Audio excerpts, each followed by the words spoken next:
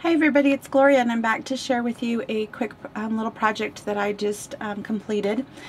Um, it's this cute little um, purse, paper purse, and um, I used the Heidi Grace Cherrywood Lane um, paper and it's embossed at least most of the papers are anyway. Anyway, I had like four or five sheets of it in my um, my loose paper stash and I thought I'd um, try my hand at one of these little little purses. And it's actually um, it's actually a little note um, little note card holder I guess.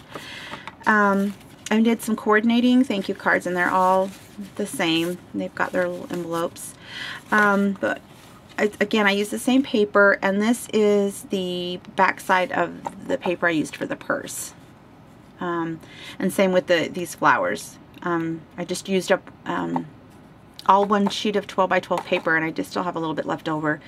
Um, I have just about, mm, yeah, just about two sheets here, little sheets left over um, to do more cards if I wanted to. But I just did a little cute little set. Um, this gray paper is not from Heidi Grace Designs. It's just paper I had in my stash and coordinated really well.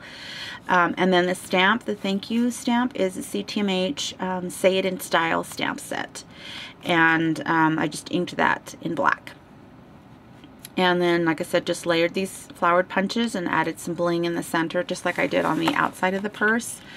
Um, it's just a gray flower and then the print um, pattern paper flower, just um, layered. So I did that as a, just like a little cute little thank you gift or something, um, or just a friend gift for birthday or I don't know. Anyway, um, thought that that was kind of cute. And um, being my first one, it's kind of plain, um, but as I, I, make more, I think I'm going to maybe use some scallop um, trim paper, some laces and things like that, and make them maybe a different um, style. So anyway, I wanted to share that with you. Thanks for watching and I'll see you next time. Bye.